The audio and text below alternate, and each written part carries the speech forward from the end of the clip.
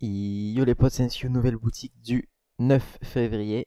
Alors, oh What the... Oh What? Alors là, personne s'y attendait. Je n'ai jamais vu un seul leak Star Wars, mais je n'ai... Oh je n'ai pas vu un seul leak Star Wars. Bon, c'est incroyable.